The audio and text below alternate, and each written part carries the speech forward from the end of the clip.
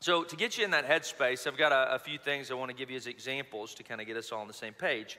But one that I'll say out the gates, for me at least, uh, you might, I don't know if y'all are like me, but if there's a lot of really big bad things in my life going on, for some reason I can keep it together until one tiny thing goes wrong on the back end. Is anybody with me on that? Like, you, like it's that one straw that breaks the camel's back where you're just like, I'm done. Like, uh, and just something happens. Like you catch your pant leg on a drawer in your house and you're like, down, I'll kill you, drawer. Uh, like you just get real. That's me, maybe. Okay. There's all kinds of ways that that might happen for you or for me, for that matter. Uh, one for me is if I'm going through a whole lot and somebody pops my personal bubble, oh, I don't do well. You know, anybody like they come up and they're like, "How are you doing?" They just like rub on you. I'm like, nah. uh, I just can't. I, I just need to process my space and figure out how to manage uh, myself, let alone social scenarios. Right? Maybe that's you. Um, there, there's all kinds of nuance, just everyday things that you've experienced a thousand times over, but because of the the, the very difficult space that you exist in that you feel that you can't respond normally. Like if, if all bad things are happening and then just somebody cuts you off in traffic or, you know, uh, does something in that kind of a space that undoes you a little bit. Uh, maybe somebody, this is an oddly specific one, you're at work and you brought your lunch and you you put your name on it like five times with that sharpie and still susan ate it. She did it. And you know it was her. Uh, and like it's just it was right there it was in the fridge. And like why would you do that to me susan? Okay? Like maybe that's it. Maybe it's uh, this is not me because i don't go to the gym. Uh, but uh, if you're a person who really is involved in the gym and like you've been having a rough day, and then you get to the next like machine and it looks like somebody jumped in a pool and then just sat on it because they just sweat all over it and they had no common decency to wipe it down. And when you sit down, it goes quick, like that moment, right? You're like, okay, I can't do this anymore. Who was it? Uh, and you're just done at that point with whatever's going on. Maybe you go home and you've had a really long day and you're trying to express that and you've been walking through so much and your spouse does not know how to eat normal and they're just like uh-huh. And you're just like ah! like you're just saying it's just something that undoes you. Man for me and taylor would speak to this one of the ones that gets me the most is, uh, is when technology that i know should be working right because i've got it all lined up plugged in set up and it does not work right like I finally time to unwind. I want to watch something uh, through a streaming service, and it just gives me that wheel of death, and it's stuck at 80% the whole time. And I'm like, I know it should be working. Uh, I do my tests on my internet, all that kind of stuff. And Taylor's like, it is okay. I'm like, it's not though. Uh, and there's like this real struggle within me. One that's a very real one that I experienced wasn't part of the message last night because it hadn't happened yet. Uh, was that maybe for you you cre- I create, and this is problematic for me, I create mile markers in my uh, week or day to like look forward to if a lot of other bad stuff's going on, right? Uh, it's really difficult. I'll go, well, at least I got that to look forward to. The problem with that methodology is what if that goes awry, okay? Like you've been working for that. Uh, one that's always a fun little deal, and this is absurd one, but I know some of you are in the same boat, is when you're looking forward to like an Amazon package that's going to be delivered. Is anybody where you got a little bit of like an endorphin kick when you see it show up? Uh, I've got the you know uh, doorbell camera so I can know when that's happening.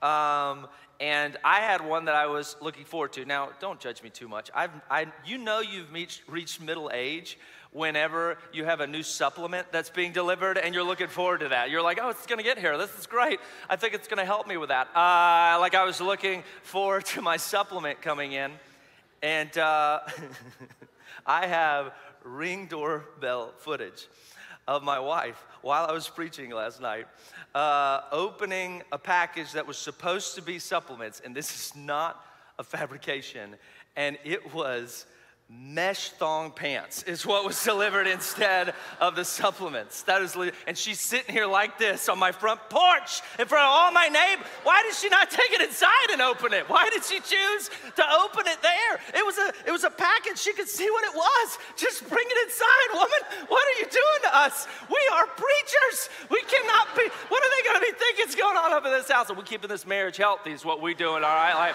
uh, that. What are you doing? And I was like disappointed. I'll tell you right now, I immediately put a review on Amazon. It is there, it is live. Ordered supplements, got thong pants. Like that's there. That's it is live. One star review from me. And the worst part is that supplements are not a returnable item. So I couldn't return it. They were like, "We know that you've got the supplements." I was like, "I really don't though." Uh, so me and Amazon are trying to work that out right now. Worst part was they weren't even my size. Uh, so, you know, it's just a, it's a rough gig, right? Uh, and if you think I'm disappointed, how about the person who didn't get the pants? Like they, like I can't even imagine how bad of a day they had yesterday. Uh, so like there's all kinds of ways. Like when you're like the end of your rope and you're just like, I can't deal with another thing. Uh, and yet more things keep happening. Man, uh, what are some of those in, real intense ones, though? What are the things that get us to that point that maybe you're walking through today? There's the obvious ones we talked about last week, even, and consistently we go to because they're very real things that you and I struggle with. That's like loss and loss of someone we care about or love. This could be bad news health wise, whether it be for you or for someone you care about. Maybe it's loss of a job or uh, abuse or trauma in your past. These are very consistent ones that are uh, rhythmically occurring in any number of our lives. And they're very uh, overwhelming and weighty. What about some more? Fo- I wanted to give you even some more focused examples to maybe speak more directly even to some of your situations you may be walking through. One that's really big that can get us to a point of breaking is betrayal of any kind, especially if it's from somebody that we're in an intimate relationship of some kind and, and we're going, man, I don't understand how we even could get to the place that this could occur. And you're walking through this season of wrestling with betrayal. Maybe a, a big one is regret. This is regret can manifest in a number of ways, but this could be uh, of actions committed, like things that you've done in any number of ways, and as really you're struggling to get past. This can manifest in anything from anxiety, depression, PTSD, all these very real struggle points because of that which has occurred. Uh, it could also be regret uh, perceptively to lost opportunities. And you look back over the scope of your life and you go, man, if this, this, and this would happen, I promise you my life wouldn't be where it's at today. And you have this regret and you just sit in regret and it eats away at you and it is uh, not allowing you to walk forward in the full scope of what you could do in and through and for the Lord because that regret has festered and turned maybe even into shame or maybe even doubt in God. And it's something that is just so incredibly overwhelming. Another one that is a, a, slow burn, but it's definitely a very difficult one, is uh, family estrangement. So maybe you really desperately pray and hope that your family, whether it be immediate or extended, could be, you know, find unity and health and, and walk in relationship with each other therein. And yet, for any number of reasons, that's not happening. You might have people that you knew and were in very great community with for years and years and years that you haven't talked to in years and years and years and you try not to think about it, but it just weighs on you day in and day out. What, is, what about existential crises? Uh, this could be something, and we talked about some of the ways that some biblical characters were struggling with this last week, but this could be like lack of purpose or meaning. When you go, I feel like I'm just adrift in my life and I don't have some purpose or meaning or any very intrinsic goal or thing I'm working towards, and I'm, I'm struggling with just myself and, and, and my life and the concepts therein. You could take that to its fullest extent and be struggling with just the idea of fear in your mortality or even just the unknown of what is next and going, I, you know, I, I, am really struggling to function now because there's so much open ended, loose ends about what's coming down the pipeline in my life, and it's really beginning to encumber you. Here's a, a very specific one that I think is one that I, I want to make sure I acknowledge because I think it's, it's, it's, it's very niche, but it's very real and visceral for some people in the season of life they're in. But that's loss of independence. And that's the idea that for any number of reasons age, illness, disability that maybe there was any number of years, even, or a time where you were fully self reliant and take care of yourself and doing any number of things, and you find yourself in a season, whether that be temporary or seemingly uh, open ended in its length, and you're going, I, I don't know what to do here. This I don't I don't like this. I don't know what this means, and I am really struggling with how to manage this in a way that I feel like I'm thriving, that I'm finding uh, this blessed existence as we talked about two weeks ago, and to give all these things open handedly to God. All right? Am I getting a little bit specific enough with you uh, and kicking up some dust? Uh, that's what's in view here. It's all these things, whatever it is for you. And I could go on and on and on and list all these different ways in which, in your specific life or mine, that that could happen, right? Like you're not, you, things can be just going great and normal, and then your kid gets a diagnosis that you didn't see coming that's a lifelong deal, and you don't even know what that means. And you go, okay, God, what do I do now? Like, how do I respond to this? Could I just take it on? Could you do a transfer real quick and let me deal with that instead? Because I'd prefer that. Like, there's all kinds of ways.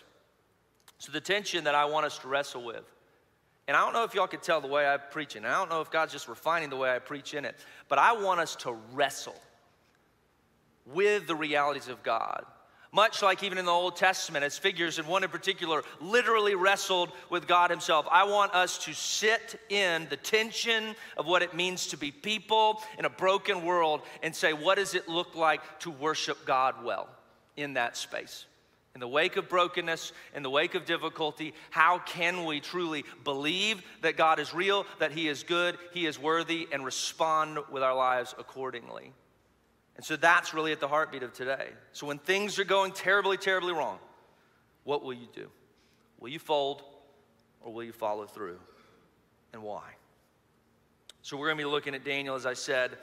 The book of Daniel at large uh, describes the ministry of Daniel and also is some uh, prophetic of things to come uh, chapters as well. It's a beautiful book. Uh, it's one of the only books in the Old Testament that is in both Hebrew and Aramaic. So the Bible, if you didn't know, written in three primary languages uh, Greek in the New Testament and Hebrew and Aramaic in the Old. Hebrew being the primary for most all of the Old Testament, but every once in a while Aramaic shows up, and Daniel's one of those.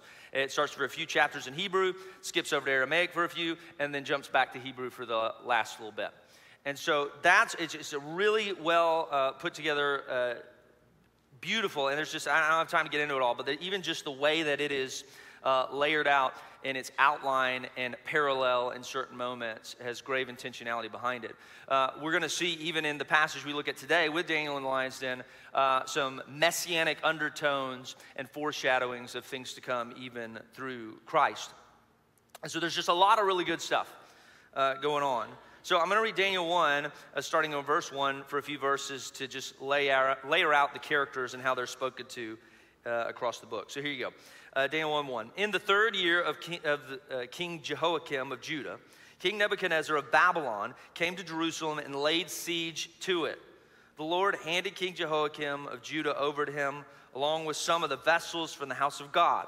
And Nebuchadnezzar carried them to the land of Babylon, to the house of his God, and put the vessels in the treasury of his God. Now, that's going to show up later. These vessels being uh, these things that were in the temple, that were designed for God's glory uh, and, and to be used in practices therein. Three, the king ordered uh, Ashpenaz, uh, his chief eunuch, to bring some of the Israelites from the royal family and from the nobility young men without any physical defect, good looking, suitable for instruction in all wisdom, knowledgeable, perceptive, and capable of serving in the king's palace. He was to teach them the Chaldean language and literature. The king assigned them daily provisions from the royal food and from the wine that he drank. They were to be trained for three years, and at the end of that time, they were to attend the king. And among them from the Judahites were Daniel, Hananiah, Mishael, and Azariah. And those three last ones are names, if you've done any biblical study, that may not sound super familiar, but you're about to hear why they are familiar. The chief eunuch gave them names, and he gave the name Belteshazzar to Daniel, which is weird to me uh, that we don't really ever hear Daniel uh, in at least common and modern tradition being referred to by that name because the names you are familiar with are the names given to the others Shadrach to Hananiah, uh, Meshach to Mishael, and Abednego to Azariah. So, very strange that through the book of Daniel, when we reflect back on it, we reflect on Daniel through his Jewish name, uh, and then we uh, reflect on the other three through their Babylonian given name uh, of where they are put. So, when we hear of Shadrach, Meshach, and Abednego, and they're the ones who as we're about to review, would not bow down uh, to the golden statue of Nebuchadnezzar and worship it, and therefore were thrown into the fiery furnace. And so that uh, is who uh, the main characters, if you will, throughout this book are these four gentlemen. and how they're going to respond. Now, there, the reason that I need to give you some layered context before we get to chapter 6 is because there is beautiful rhythmic parallels of the narratives building up even to Daniel. So in chapter one, if you were to continue to read, what you would see happen is, is that that chief uh, eunuch, who's the one overseeing all these individuals who've been brought in to be in the king's court, will say, as it said right there, that they're going to be given all the food of the king and his wine and all this stuff. But the problem is, is that that food uh, is comprised of things that is outside of the law of God's people for them to consume. And so, out the gates, these four friends go, We want to glorify Yahweh, we want to glorify God and follow Him and not infringe upon His commands. And so they go to this leader that's overseeing them and they go, Here's the deal can we please not, for our religious reasons, partake in this in this way? Can we just actually eat vegetables and water? It says. This may be the first vegetarians in the history of mankind that are recorded. Uh, and he looks at them as the rest of us do, and he goes, That's not going to work because you need protein. Uh, and he's like, Hey, like you need that. We want to get you real strong and fortified up to serve the king. And they go, Look, if you give us 10 days, what we'll do is we'll take this, we know our God's faithful, and if we're not, just as strong and well off as the other guys, then we can have another conversation. Guy goes, okay, fine. Sure enough, at the end of those 10 days, they're presented before the king, and Daniel and his friends are seen to be significantly in greater standing mentally, physically, in any number of ways than everybody else. It goes on even to say that their counsel and interaction by, to the king was seen by the king as being 10 times greater than any of the others that were brought in. And so, out the gates, with not any grave consequences, hear me, in view, they begin already at the onset to go rhythmically and consistently glorifying and worshiping God with my life matters. And it's not something I'm just going to figure out later. It's not something that I'm going to wait till crisis strikes. It's in the now, in the, even the just low key moments of tension that don't have a whole lot of fallout, I'm going to choose and prioritize what it means to glorify God. And so they do that out the gates. Uh, if you look then in, Daniel does a lot of interesting stuff with dreams and the like in chapter 2 and really finds himself in a position of prominence at that point. In Daniel 3, it's the thing I alluded to earlier where the three friends are brought into a space where they're told they, and Daniel's not a part of this narrative, most likely because uh, he's, in the previous chapter, elevated this very significant position in the kingdom. And so he's either out on assignment, most likely, or the rules truly just don't apply to him because of how powerful he is in that moment. But the other three are not immune to this. And so they, just as they had previously decided, we're going to glorify God, we're not going to bow to this idol, this statue of the king. And sure enough, they're thrown into the fiery furnace. And I could have used that whole narrative to be this as well, as they walked open handedly before God, going, We're going to worship you, be faithful to you, even as unto death. And there's even messianic undertones in that one, as there's a fourth man in the fire, which is actually in some of the worship songs we've even sung today. And that, uh, by theologians, is believed to be Jesus, quite frankly. That is in there, uh, this divine manifestation in the fire, protecting them as they are walking they're in. And so you see this moment again. We're going to glorify God, we're going to walk open handedly, and God shows up in a powerful way. So those are all the things in view. In Daniel 5, there's another king that takes over that's named Belshazzar. And he is using those vessels I referred to earlier to now drink wine out of it, this huge party where he's invited hundreds and hundreds of people, and really disgracing uh, things that were very sacred to God's people. And all of a sudden, this disembodied hand shows up, starts writing on the wall in this very terrifying fashion. And they bring Daniel in to interpret it. And he does, but unfortunately, he says, Hey, this is, this is because of kind of who you are and what you're doing, and you're going to get overthrown. And he goes, Well, because you did that, we're going to elevate you to this even greater significant position. And that night, the dude gets overthrown, uh, and uh, the kingdom is divided in half. So it's in the wake of this that we see uh, a new king, Darius, stepping in, who is going to view Daniel in a very positive way. But there's going to be some pretty precarious things that Daniel has to walk through therein. So let's look then at Daniel 6, verse 1, as we enter into this narrative that leads to the lion's den. Darius this new king, so the third, if you're keeping count in the book, Darius decided to appoint 120 satraps over the kingdom. So these are like regional governing figures stationed throughout the realm. And over them, three administrators, including Daniel. These satraps would be accountable to them so that the king would not be defrauded. And Daniel distinguished himself above the administrators and satraps because he had an extraordinary spirit. So the king planned to set him over the whole realm. The administrators and satraps therefore kept trying to find a charge against Daniel regarding the kingdom, but they could find no charge or corruption, for he was trustworthy, and no negligence or corruption was found in him. Then these men said, We will never find any charge against this Daniel unless we find something against him concerning the law of his God. So, out the gates, Daniel, a prominent individual, has this uh, you know, amazing spirit that's described about him as he works into things. He's not corrupt. He's trustworthy. What he's given by the king, the king knows is going to be done well by.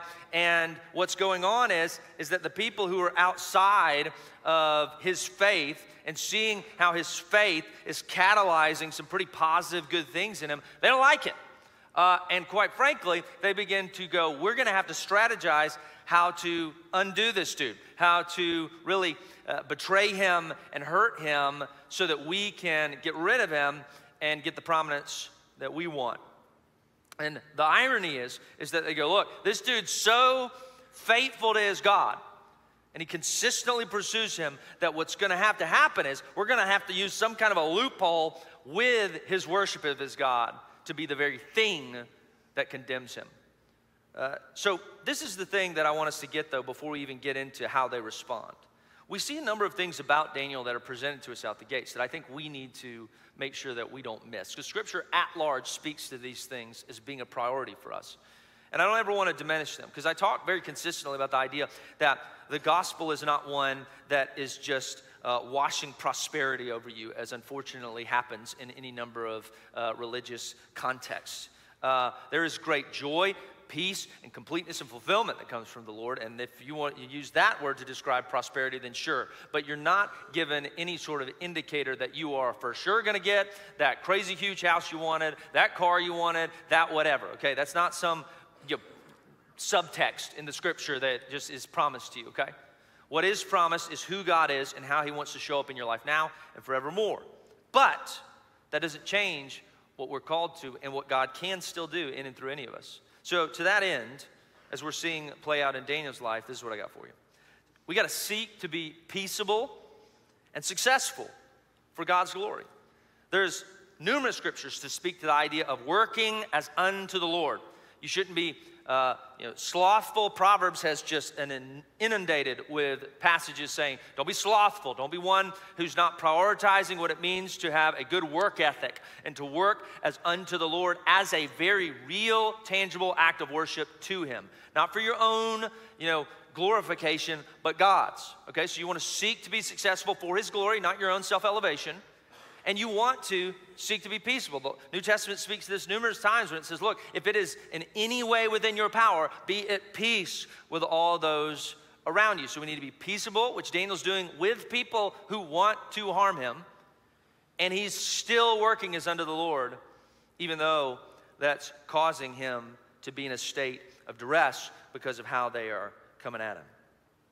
So, this is the question that I want us to wrestle with as we pivot into the next verses. Is being then peaceable and successful a foolproof plan to avoid conflict and or pain? And I think you obviously know where I'm going to go with this, but Daniel 6 6. So the administrators and satraps went together to the king and said to him, May King Darius live forever. And all the administrators of the kingdom, the prefects, satraps, advisors, and governors, have agreed that the king should establish an ordinance and enforce an edict that for 30 days, anyone who petitions any god or man except you, meaning anybody who prays to any god except for you, king, as if you are divine, will be thrown into the lion's den. Therefore, your majesty, establish the edict and sign the document so that as a law, of the Medes and Persians, which is the two kingdoms that had now been divided into. It is irrevocable, and cannot be changed, which is what was the context and how they're going to use it against him later. And if he signs a sin, even he at that point cannot undo this. So, King Darius signed the written edict. Briefly, I want you to hear this, and I think you already know this based on just existing uh, and even this passage. But it's this don't be surprised when others attempt to diminish or destroy what God has established. Okay, don't be surprised by that. Others in your life, hopefully, most of the time, it's people outside of the faith, because that at least makes sense right? If they don't love God, prioritize God, if they don't have the Holy Spirit in their heart, like there's no reason they intrinsically should be desiring to glorify God in the way you are. They, quite frankly, don't even understand it or get it. Uh, that's the, the thing that's more bizarre to me is when we hold like Holy Spirit level accountability to people who are outside the faith. We're like, why don't they get it? Because they don't love God. Like they don't have the Holy Spirit. Of course, they don't care about what you care about, right? But that same reality is true then. Okay, well, at least I am not surprised by that. Unfortunately, at times we see that manifest even within the church, where people who claim Jesus aren't looking like Jesus a whole lot and how they're loving each other. And that might be even a very real part of your story that you've wrestled with and struggled with. That's pushed you to a breaking point at some point in time. But in all these things, what we have to understand is, is we're dealing with broken, flawed people, both outside the church and inside the church. And if that is the case, then it should not surprise us when broken people act what? Broken. And they do things that are selfish, that are even, in Daniel's case, wicked, trying to use very good things in such a way that it deals with a mortal blow to Daniel in the wake of it. So we can't be surprised by these things. Quite frankly, we need to assume that they're coming at some semblance of an interval in our future. Let's keep reading them. How do we respond to this? Daniel 6:10. When Daniel learned that the document had been signed, he went into his house, and the windows in its upstairs room opened towards Jerusalem. And three times a day, he got down on his knees, prayed, and gave thanks to his God, just as he had done before. So this is clearly his rhythm what he does every day, how he faithfully pursues the Lord. I told you this at the beginning. They established who they were in the Lord and were consistently worshiping him and seeking him. This is not new information in their lives. This is not a, oh, this king made this edict, now I will respond in resolute fortitude in faith, okay? Um, it's that this is who they were throughout. And so, as he's living this out, these uh, enemies of his know this. And you got to think through the lens of they don't have like windows and curtains in the traditional sense of their houses like we do. It's just an open portal into your home. And so through this window, for any number of reasons, it's obvious that these enemies are able to see what he's doing. So uh, then these men, verse 11, went as a group and found Daniel petitioning and imploring his God. So they approached the king and asked about his edict. Didn't you sign an edict that for 30 days any person who petitions any god or man except you, the king, will be thrown into the lion's den? The king answered, As a law of the Medes and Persians, the order stands, and it is irrevocable. Then they replied to the king, Daniel, one of the Judean exiles, has ignored you, the king, and the edict you signed, for he prays three times a day. As soon as the king heard this, he was very displeased. He set his mind on rescuing Daniel and made every effort until sundown to deliver him. Then these men went together to the king and said to him, You know, your majesty, that it is a law of the Medes and Persians that no edict or ordinance the king establishes can be changed. So they've trapped him. They've trapped the king, which, as you're going to realize later, real dangerous game to play. Uh, but they did. They've gone, we found a loophole. We found such a way that we can get rid of this dude. And even though the king likes him, and has him in this almost position of favoritism, he's not going to be able to do anything, and it's going to get Daniel taken care of. Foolproof plan, we're good to go. So, this is what I want us to see, though, is in the wake of this, and in the wake and the character of Daniel, and his friends for that matter, as they have walked consistently up to this point, we need to understand something about ourselves that is at the core of what we're talking about in this series, and is really the, the linchpin of what we're talking about today. And it's this Christ's followers walk open handedly before God, regardless of the consequences. Okay? We, we do that. Like, does it matter if there's some government order that comes in and goes, hey, it is unlawful for you to pray at your home, to, to worship God, to do whatever? It doesn't matter uh, if you have a dynamic in a relationship where somebody goes, hey, I'm gonna need you to stop with all the God stuff and the Jesus stuff. And you go, I, I, that's, that's not what this is about. If you claim Jesus as you are pursuing Him in your life, you go, you know what, I'm gonna glorify Him and pursue Him faithfully. Uh, and, and that reality is one that is not time sensitive, meaning it's not something that is new to us, new to Daniel. It is permeated throughout the course of history, what it looks like to then be faithful, pursue the Lord, devoid of what the consequences may be. Now, this is something that's kind of lost on us, okay? Uh, we, we get real riled up in a westernized context. We're like, they won't let us pray in schools. Cool, I hear you. Uh, I think that we should probably get some perspective beyond that to the idea that there are people in a modern day context, not in our country, who are dealing with real death as a consequence to just having Bibles, okay? And pursue, they're in underground settings in different, uh, you know, terrible governmental constructs trying to worship the Lord, knowing that at any given moment, if they get caught, they're dead, all right?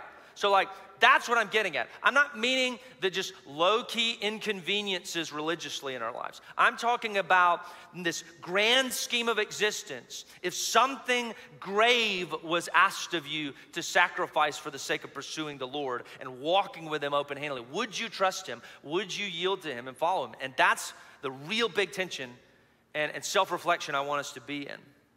And, and let's go a little bit further there then. Let's look at verse 16. So the king gave the order, and they brought Daniel and threw him into the lion's den. The king said to Daniel, May your God, whom you continually serve, rescue you. A stone, and this is where some messianic imagery starts to come in, a stone was brought and placed over the mouth of the den. So a death sentence into this space, this almost tomb space where this stone is rolling over it. And the king sealed it with his own signet ring. Does that sound familiar to another narrative as well? And with the signet rings of his nobles, so that nothing in regard to Daniel could, we, uh, could be changed. All right, so here's the intense stuff I've got for you. I've got a dangerous question for you, and I've got a quote for you that's possibly the most aggressive quote I've ever made in my entire career. So, yay.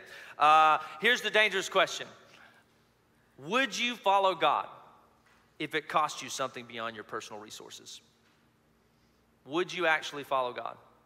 Because hear me, your personal resources are just those intrinsic natural things that you and I, if you've been in church or in America and all that for any amount of time, that we just kind of have baked into us that we just at least yield to the idea of, yeah, I guess that's a thing, right? I, I, I should give my time to God. Whether that be being in His Word, being in relation with Him, spending the time to put that in, in prayer like Daniel did, did rhythmically even each day. I should do that. I, I should uh, serve God. Maybe that's serving in the local church in some way, and uh, or serving in my community in a way that's instilling the gospel and reaching out. It's, it, it's our resources in a very real sense of like money. Scripture, quite frankly, says that we're supposed to give to God the tithes and offerings. And we'll you know, talk about that another day and I'll make you feel awkward. And uh, it just is what it is, right? Like it is an act of worship before God and it's not something we mince words with Him about. We just go, okay, if this is what you ask of me and I'm going to walk open handedly, these are the different things that I get that even though I might begrudgingly walk into it, I get that that's conceptually thing, right? I'm not talking about those things. I understand that you just at face value get that that's a thing. What if anything beyond that was asked of you? Would you still follow him, let alone if your very life was at stake? Would you do that? Here's the aggressive quote I have for you A life characterized by passive, unaccountable faith will collapse when brokenness demands payment. I've said it time and time again, I will say it time and time again. People who are broken, existing in a broken world, will always have brokenness thrust upon them. And as long as we exist here and are not in God's presence, we will experience any number of that. Which means, because of our sin and the broken nature of our world, brokenness demands payment of you at any given rhythm. And the question is are you going to be fortified on a foundation that cannot be shaken, or is yours set up on sand? And hear me, And I, am not going to do this, but I, I, saw a pastor do this, and uh, it was incredibly powerful. So at least just use the visual instead of making you do it. But he said, Hey, everybody stand right now. He had everybody stand. He said, Turn around, and I want you to touch that seat behind you. Do you feel the warmth on that seat? Your contribution to the kingdom of God is more than that, or at least it should be. But in our lives, we are really guilty at times of just warming seats. And when we go out of this place and we live it out, are we giving of our time? Are we giving of our attention to the Lord? Are we actually faithfully in prayer daily? And then when that time shows up, when the lion den comes, is that the time you remember to pray? And you're like, I don't understand why. I'm like, I'm in the middle of this and I feel overwhelmed. I'm really doubting you, God. And it's like, because He hasn't been real to you up to that point. Can I tell you, I've had some upending moments here recently. And I'm gonna tell you, I did not collapse. I was emotional. I was overwhelmed. I got on my knees in front of you real intensely last week. Like, I was definitely struggling with some things, but I was not undone because the ground in which I kneeled was solid ground. And it was Christ Jesus to whom I clung to in the wake of that and continue to. And so it is in and through that, not me, and in through that that I will find any semblance of success and will not fold if I will be faithful to cling therein. Not by my power, because his strength, as we say over and over again, is not made better in my weakness, it is perfected in my weakness. And so, in yielding to my weakness, relinquishing to him, I can then find strength through his power, purpose, and intention. See, we all got to pay the piper someday. We've all got to deal with the wages of sin being death and destruction. The question is will we be clinging to the free gift of God in Christ Jesus? That is both eternal life one day and abundance in what He wants to be for us now. Verse 16 or 18, excuse me. Then the king went to his palace and spent the night fasting. No diversions were brought to him, and he could not sleep. And at the first light of, the dawn, of dawn, the king got up and hurried to the lion's den. And when he reached the den, he cried out in anguish to Daniel Daniel, servant of the living God, the king said, Has your God, whom you continually serve, been able to rescue you from the lions? Then Daniel spoke with the king, May the king live forever. My God sent his angel and shut the lion's mouth, and they haven't harmed me. For I was found innocent before him, and also before you, your majesty. I have not done harm. The king was overjoyed and gave orders to take Daniel out of the den. And when Daniel was brought up from the den, he was found to be unharmed, for he trusted in his God. The king then gave the command, and those men who had maliciously accused Daniel were brought and thrown into the lion's den, they, their children, and their wives. They had not reached the bottom of the den before the lions overpowered them and crushed all their bones. In the wake of this, King Darius begins to praise this God of Daniel and who he is in a space that seemed devoid of a beautiful divine context. Has God step in in a way that otherwise would have been inexplicable? But because of what God did, because Daniel was willing to be faithful and walk open handedly, God did a powerful work. Here's the final thing for you God doesn't, and last week my final statement to you was God blesses faithful follow through, which is true, but it's not complete. Uh, and so here it is God doesn't just bless faithful follow through, He is the follow through. See, are you seeking a solution or the source? Are you seeking just, is that all you want? Like, is that all God is to you? Is He just a, a, a solution to whatever tension you feel? Or is He the source of life?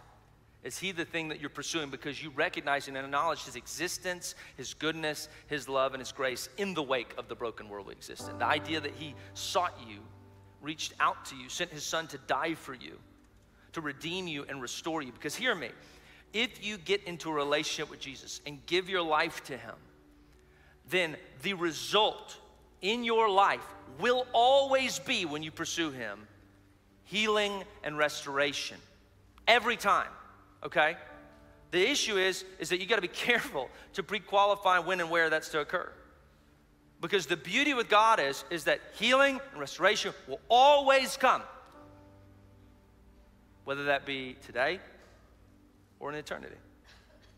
Because That's why we get to say, Oh, death, where's your sting? That's why guys like Daniel and Shadrach, Meshach, and Abednego walk into scenarios where they go, just like the Apostle Paul said in the New Testament, hear me, to live is Christ, but to die is gain. I will walk open handedly. They, they did not know that the fire wasn't going to consume them. He did not know that lions weren't going to eat him. What do you do if the lion eats you? Is he somehow not God now? Because sometimes the lion's going to maul you. Sometimes provision is going to come now. Sometimes it's going to come through eternity. But the beauty of God is devoid of the context, the solution is there, and the solution isn't a thing, it is an entity, a person, a loving God, the source of all. So we have to be people that cease to prioritize our perceptive needs at the expense of worship for one who exceeds those needs. So I'm gonna push myself, I'm gonna push you to a place where we cease to walk in spiritual passivity, that we cease to walk in this just shallow, uh, I, you know, I'm just gonna check the boxes of faith. Hear me, I, moralism will not get you there, okay? I'm not telling you to do a bunch of boxes of moral actions a whole lot of righteous living will result in a collapse when bad things happen if it's not about righteous living, but instead about worshiping a righteous God, okay? It's gotta be about the right things. So let us not simply be people bouncing around through existential crises in life. Let us be sons and daughters of the Most High who walk open handedly and give glory to God through every season and circumstance, noting that He is the source and the power and the healing and restoration for now and forevermore. Let's pray.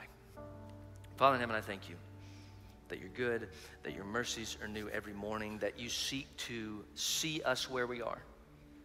We're in our darkest place. We feel like we're about to get mauled by a lion, and no matter if it happens or doesn't, that you're still there. I thank you that we have the power, as Scripture says, to pray anything and ask anything. And if it's alignment with your will, then we have assurance that it'll happen. So may we pursue your will at the expense of our own. May we yield our lives open handedly to you as a fragrant offering of worship. And may we look to not our strength, but our weakness as a catalyzer for our necessity for your divine power.